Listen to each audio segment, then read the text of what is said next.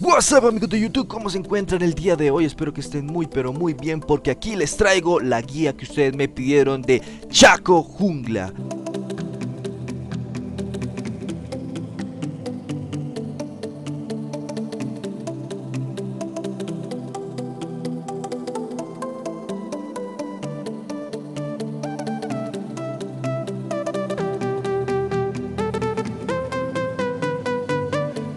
Bueno, vamos a hablar primero de las runas que están dándole mejor resultado ahorita a Chaco. En las rojas vamos a utilizar Attack Damage. En las azules podemos utilizar poder de habilidad. Recordemos que Chaco escala un poquito con poder de habilidad. Sin embargo, si no queremos utilizar el poder de habilidad, podemos irnos por Magic Resist por resistencia mágica. En las amarillas vamos a utilizar armadura sí o sí para aguantar un poquito más. En las quinta esencias podemos utilizar una quinta esencia en attack damage, darnos un poquito más de ataque. Y en, la, las otras dos podemos utilizar attack speed. ¿Vale? Está muy bien esta combinación. Sin embargo, podemos utilizar las tres de attack damage, de, daño de ataque, ¿vale? Esto ya queda a consideración de cada uno de ustedes. Pero eh, según las estadísticas estas son las runas que mejor le vienen a Chaco en este momento. Bueno, pasemos a las maestrías. Vamos a utilizar 12 de en ferocidad, 18 en astucia. Eh, vamos a utilizar la furia, que nos va a dar 4% de velocidad de ataque adicional. Aquí podemos utilizar espada de doble filo, pero tenemos que tener muchísimo cuidado porque esto como su nombre lo indica es de doble filo. Vamos a causar más daño pero igual vamos a, recibir daño adicional vale sin embargo para irnos un poquito más defensivos podemos utilizar festín que asesinar a una unidad restaura 20 de vida cada 25 segundos de enfriamiento. Entonces de pronto nos ayudará a aguantar un poquito más en la jungla o cuando hagamos un gank va a ganar un poquito más de de vida. Entonces eh, ya queda consideración de cada quien. Podemos utilizar aquí el, el talento innato, 10 de daño de ataque y 15 de poder de habilidad. Eh, aquí básicamente es porque escalamos un poquito AP, ¿vale? Entonces nos va a dar ese AP para causar un poquito más de daño, entonces no viene nada mal armarnos un poquitico solamente híbridos con nuestro amigo Chaco. Eh, vamos a utilizar aquí el opresor que inflige 2.5% de daño aumentado a los objetivos con movimiento impedido. Está muy pero muy bien porque Chaco tiene la W que es su caja y si estudiamos a algún oponente le vamos a causar más daño y si utilizamos la E en él también va a, causar vamos a causar este 2% 2.5% de daño adicional entonces la verdad es que esta eh, maestría nos viene muy pero muy bien Vamos a pasar a fiereza. Los ataques y hechizos de un solo objetivo infligen 5 de daño adicional a los súbditos y monstruos básicamente para junglear muchísimo mejor sin ningún tipo de problema. Bueno, aquí vamos a podemos utilizar asesino, inflige un 1.5% de daño aumentado cuando no hay campeones aliados cerca. Esta, esta maestría viene especialmente bien cuando vamos a hacer un counter jungle, cuando vamos a a invadir. Básicamente a Chaco le viene muy pero muy bien, ya que vamos a tener incluso muchísimo más daño que nuestro jungle enemigo, así de pronto sea un Shinshao. Además de que contamos con nuestros stuns, entonces básicamente va a caer muy muy rápido, entonces esta viene muy pero muy bien.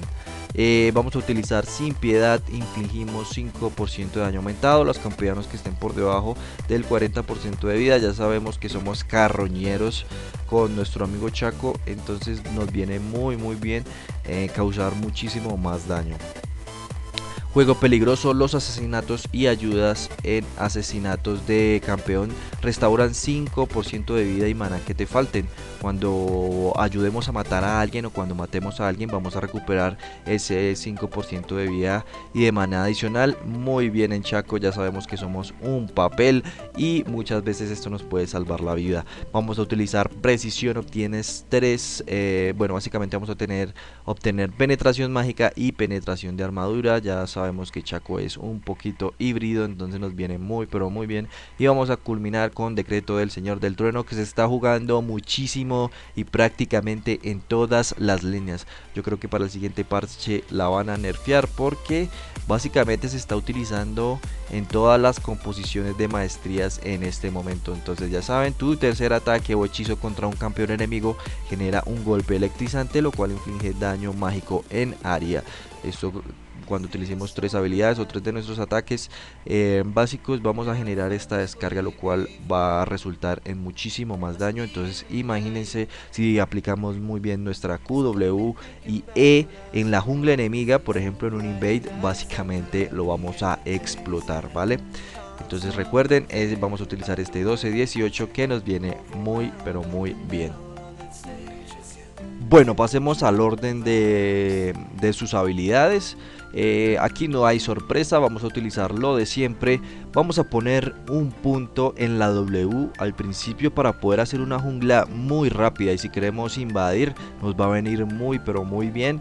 Vamos a continuar con nuestra Q que básicamente es para los ganks. Incluso podemos hacer un gang muy temprano, ya sea en mid, en top o en bot lane. Eh, si de pronto vemos que hay algún enemigo complicado, difícil, eh, podemos hacer un super early gank. Y vamos a culminar con nuestra E. Sin embargo, nuestra E va a ser muy, pero muy importante porque es la que vamos a maxear primero. Bueno, vamos a pasar a la build. Aquí les traigo dos builds que son muy similares. Lo único que cambia más o menos son los el, orden de los objetos, pero ya saben, esto es dependiendo de la partida. Muchas veces les digo que no tienen que seguir al pie de la letra lo que hay que comprar, sino que vamos comprando según como vaya la partida, ¿vale? En la jungla vamos a utilizar el guerrero para tener muchísimo más daño e enfriamientos. Vamos a pasar a Hydra para poder darle a más objetivos al mismo tiempo. Eh, vamos a utilizar la static. Vamos a pasar por eh, el filo y vamos a culminar con una sanguinaria. Eh, si tienen muchísimos tanques, podemos irnos por penetración de armadura. Esta es una build, se puede decir que la build básica que podemos utilizar. Pero recuerden, por favor, ármense según como vaya la partida. Si van ganando, si van perdiendo, si van perdiendo, ármense algunos ítems un poco más defensivos. Y si van ganando, pueden ir directamente, eh, por ejemplo, por una Infinity, y luego pasar a una Static, ¿vale? Y luego irnos por la hidra, o sea, es por cuestión de gustos, esto es cuestión de gustos, si nos hace falta un poquito más de sustain, podemos en cambio meternos por aquí una sanguinaria y luego ahí sí vamos por la hidra, acá. Entonces es cuestión de gustos y como les guste jugar solamente es cuestión de que practiquen en normals y luego ya cuando tengan el campeón dominado nos vayamos a rankeds. Bueno amigos de YouTube, espero les haya gustado muchísimo esta guía que la verdad es corta pero muy completa, ¿ok? Eh, si la seguimos al pie de la letra con los cambios personales, con los cambios que les gusten a ustedes, les va a ir muy pero muy bien. Eh, si quieren ver algún otro campeón me lo pueden dejar en los comentarios. Si tienen alguna pregunta, duda, sugerencia, lo que sea, me lo pueden dejar también ahí en los comentarios.